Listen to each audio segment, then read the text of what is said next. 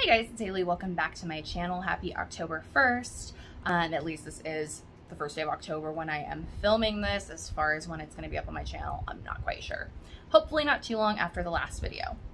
But since it's October 1st, I am feeling festive, I am feeling in the mood, and I wanted to put out a festive video for you guys. As you guys know, October is like the only time of year that I am just feeling myself and I am like complete, I am happy, I am just feeling myself best way to describe it.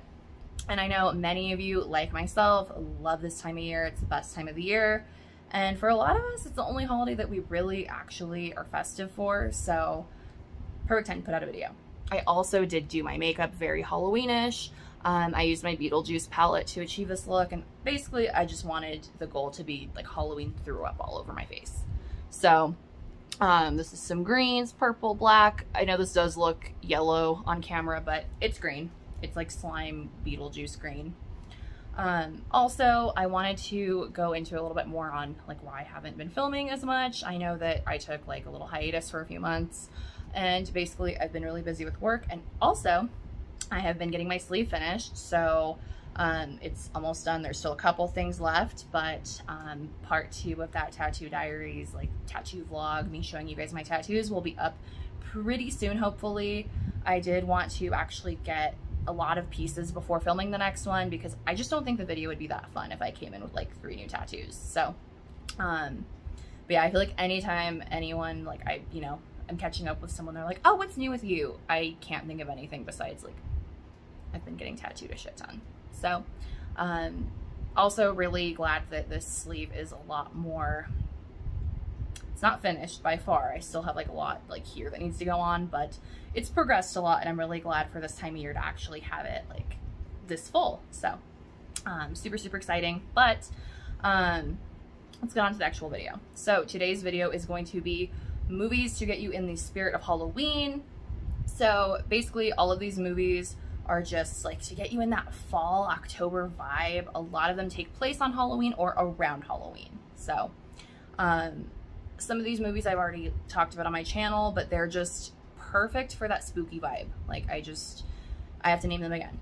So as always, I will be reading off of a list because my memory is shit. So um, also comment down below uh, any movies that I missed or movies that you just think are like Halloween movies, like the epitome of a Halloween movie. So let's get into it. First movie is one that has not been a stranger to this channel whatsoever. That is House of a Thousand Corpses. Of course, this is a Rob Zombie movie. Um, I know that Rob Zombie movies can be a little bit hit or miss for a lot of people. They're not everyone's cup of tea, but if you like kind of like shock value horror that's not anything too intense, House of a Thousand Corpses is perfect for you. Also, it takes place on Devil's Night, the night before Halloween, so I feel like that's pretty on par with a Halloween movie. Next is going to be a movie that's actually not a horror movie. It's the only movie that's not a horror movie on this list, and that is Frankenweenie. Um, honestly, you could do the original or the animated version. I'm more so talking about the animated version. They're both Tim Burton movies, um, and they're just really cute. I love them. I think that they take place around Halloween, I think. Um, even if they don't, it's just that spooky vibe to the movie and just very like I don't know, just the whole aesthetic of the movie is just very fall and on brand with that. Um, if you don't like dogs or you're not like a pet person, I wouldn't even waste your time watching this movie. I'm a huge dog lover, of course. I have my my fur babies, so I just I love this movie so much in general. It's um, basically it's Universal monsters mixed with dogs and like other pets. I don't know how you could not love that. So um, I know a lot of people are going to be like, you didn't bring up Nightmare Before Christmas or Corpse Bride or any of that, but those movies, let's be real, they're so, so big already um, that I don't feel like I needed to mention. I didn't need to mention them on this video. So, um, so I'm mentioning Frankenweenie. Next is a werewolf movie, uh, Ginger Snaps. If you guys have never seen Ginger Snaps, do yourself a favor and watch it. I actually, I waited way too long to watch this movie and I regret it because it's I just love it so, so much. It's such a great movie. So great for this time of year and just in general. It has Katharine Isabelle from American Mary, and she's just one of my favorite actresses in general. She's like my favorite scream queen.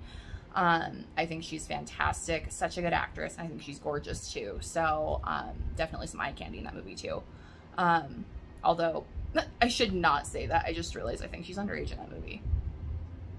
Okay, if you want eye candy, Katharine Isabelle, watch American Mary. Uh, ignore what I just said. But anyways, um, I waited a long time. I slept on this movie heavily because I'm not the biggest werewolf person. I am like a total vampire girl. Don't get me wrong, I like werewolf movies. They're not bad, but I'm just not as eager to jump on watching them as, say, a vampire movie. But this movie's a little bit cheesy. It's kind of that like 90s vibe, but I love those type of movies. Those are my favorite. So um, if you enjoy movies like that, you'll probably really enjoy this. I made Adrian watch it.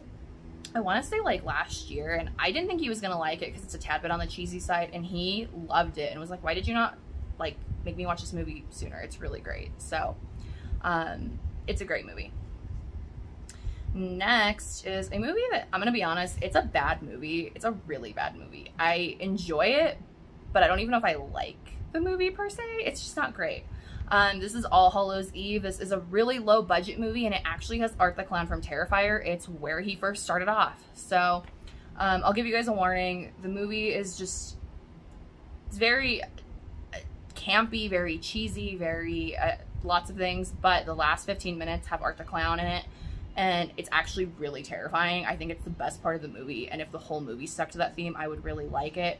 But basically, it's like little mini short horror stories, kind of like Trick or Treat, um, but not as good. I think it's still worth a watch, and I still do like to put it on um, for this time of year, especially to kind of have it on in the background and then pay attention to the last 15 minutes of the movie. I do like it. I, I, I don't want to say I like it. I like the last 15 minutes a lot.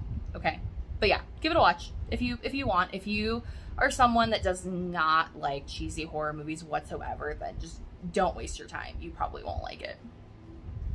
Next is Scream, of course. Scream's one of my favorite movies of all time, so I mean, I think everyone should watch Scream year round, but Scream is just the perfect Halloween movie. Like, if I were to have a Halloween party, Scream would be the movie I would pick.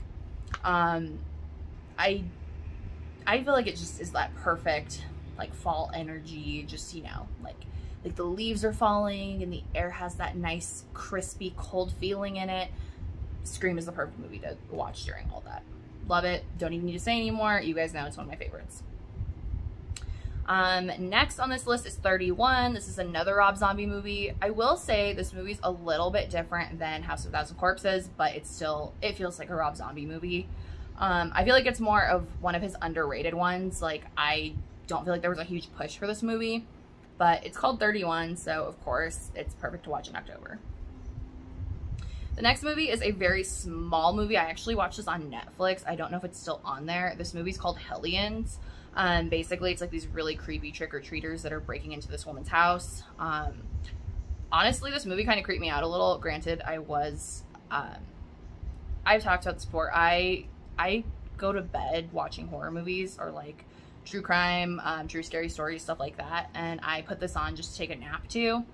And I kept waking up and I was like, oh, this movie's like really creepy. And then I watched it later and I was like, yeah, that was like a pretty decent Halloween movie. Um, so yeah, um, give it a watch. I feel like a lot of people haven't heard of it. So next is Haunt. This movie is on Shudder. At least I'm pretty sure it still is. That's where I watched it. Basically, it's that type of like they're going to a haunted house, but the people in there are trying to kill them type of movie one of those. Um, I think it's still on there. I, a lot. I'm not listing where a lot of these other movies are because you can Google them, and I'm not sure. Like, I feel like movies get taken off of stuff so quick. So just give it a quick Google or go rent it from somewhere if you don't have it. But like I said, pretty sure Haunt is on um, Shudder because that's kind of where it came from. So, um, but on the topic of those type of like haunted house feel movies, The Houses October Built is also another one of those. Um, this movie is very I feel like it's a little slow moving at first. I've actually fallen asleep during it many times, but still really great for this time of year to watch. I have to mention Terrifier. I know I've talked about Terrifier so many times on this channel, but I think it's the perfect Halloween movie. Again, next to Scream, I would probably throw that on to Halloween Party. Art the Clown is fantastic. I think he's creepy. I think it's the perfect amount of like cheesy, but also kind of creepy. Trick or Treat, of course, has to be on here as well too.